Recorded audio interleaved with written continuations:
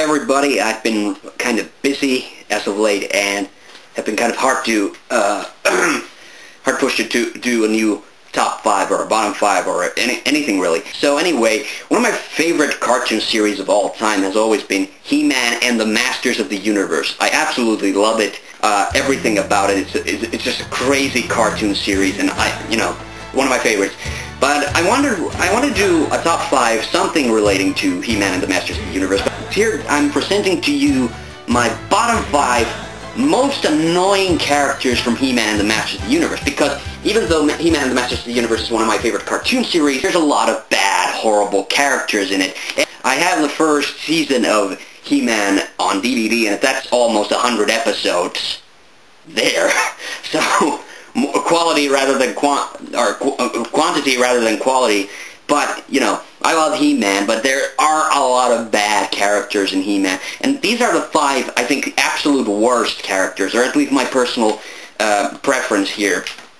And uh, so, uh, number five, Fangman from the Time Corridor. If you've never heard of Fangman, I'm not surprised because Time Corridor is the only episode he's it was ever in, and he's not really well, he doesn't have like an annoying voice. He looks a little stupid, but he's not really incredibly annoying looking.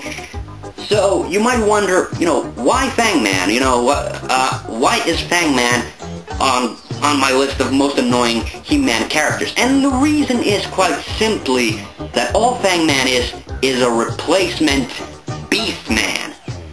I mean, honestly, the character's power is that he controls these pterodactyl things or something, but there's already, Skeletor already has a henchman who can control animals. He's called Beastman. He's in practically every other episode of He-Man, and they decided to, just for this one episode, not to have him, and instead have Fangman. And the thing is, Fangman is not a character from the Masters of the Universe toy line, so this is a character that was that the writer for Time Corridor just came up on his own and decided to throw in there in order to have his little creative bit. By the way, Time Corridor is one of my absolutely my one of my least favorite episodes of He-Man. It's, su it's such sloppy writing and you know, it's a bad episode already, but the fact that it has this horrible character in it is, you know, it doesn't make, it doesn't do it any favors, definitely. Number four on the list, Lady Edwina from The Creatures of the Tar Swamp.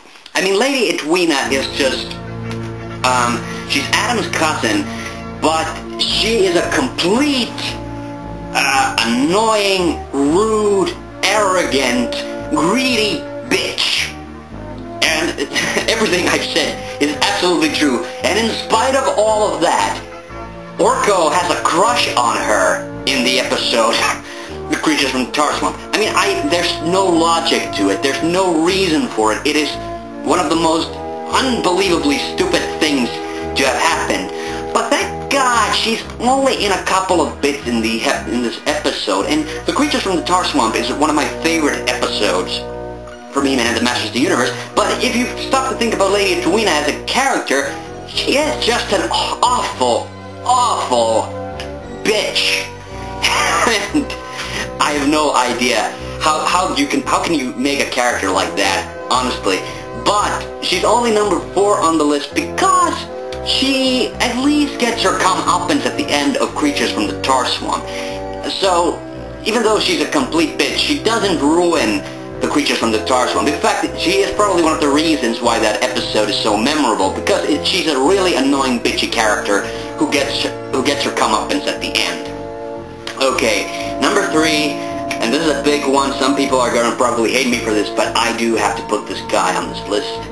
At number three, Merman. I fucking hate Merman.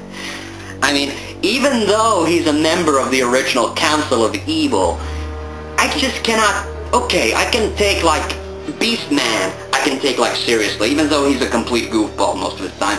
Trapjaw, I can kind of take seriously. Fucking, even fucking Triclops, I can kind of look at and think, yeah, that's a kind of a serious villain. But Merman with that gargly voice, oh my god, I just, I just die a little bit inside every time he speaks. and, but, uh, Merman, of course, he's, he's a bit of a stock character, so he gets used a lot. So, That's another reason why I hate him. That he's annoying and he occurs a lot. There are a couple of episodes that Mer that Merman man is in that he doesn't manage to ruin, in spite of the fact that I absolutely hate him. One of them is the infamous The Search for the VHO, which is one of the funniest episodes of He-Man the Masters of the Universe. I recommend checking that one out. And the other one is, of course, the fan favorite episode, Teela's Quest, and because of the storyline, Merman doesn't manage to ruin that. But, honestly, Merman is just fucking ridiculous. These are, I, I've definitely saved the worst for last. Oh boy. Number two, Locos, or Locus, from the Wizard of Stone Mountain. Now, again, The Wizard of Stone Mountain is actually a pretty good episode. I really like the storyline of that one because it deals with this wizard who has a who had a crush on Tila like years ago and still holds a torch for her. And then he basically does, makes a deal with the devil, quite literally, and Locus is sort of the uh, the devil in this case. And the episode itself, the storyline is really sweet, it's really funny, and romantic, which is something that I like. But Locus! I mean, for God's sake, you look at this character already, you think you're heading into trouble. But then, just to top it off, she, he has the most annoying, screechy voice. I mean, I know it's been used with some other supporting characters in other He-Man episodes, but Locus, he's such a central character to the storyline that he actually makes it so that I can't watch this episode like like very often. It's really oh my god, Locus is just so annoying. But at least towards the end he doesn't get to say a lot, so uh, he doesn't entirely ruin the episode, The Wizard of Stone Mountain, but he is just an incredibly annoying and just disturbing looking character. Oh my god, and I do have to put him at number two. He's just really annoying. And the fact that he does kind of ruin the episode for me.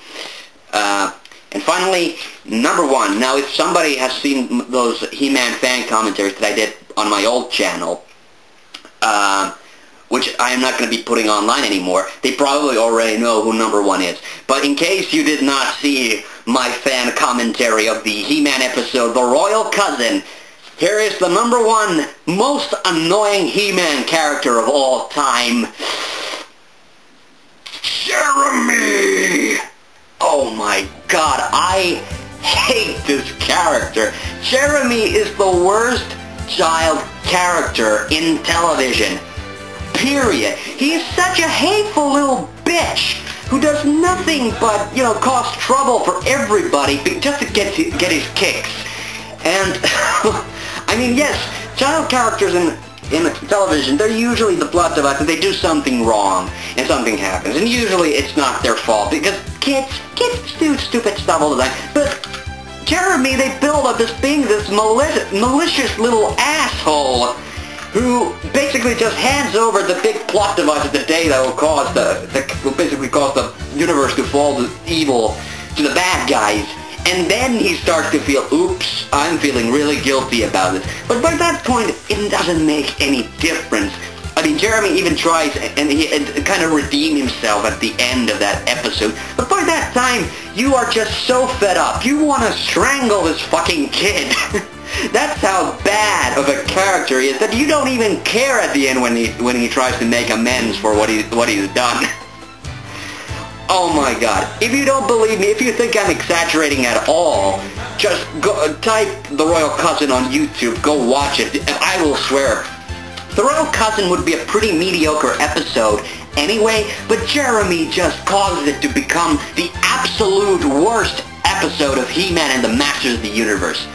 Sorry I got so worked up at the end, but, you know, that's what happens when you compose a list of the most annoying characters. For the next list, I'm thinking of maybe doing my um, top five favorite monsters from He-Man, the Masters of the Universe. But if you want something else, else, uh, if you want me to do something else He-Man related, like if you do want me to do like a, my top five favorite characters or my top five favorite episodes or bottom 10, fa- bottom 5 favorite, least favorite episodes, whatever you want to do, just leave it in the comments. But I just want to know that, uh, you know, if people find this He-Man stuff at all interesting.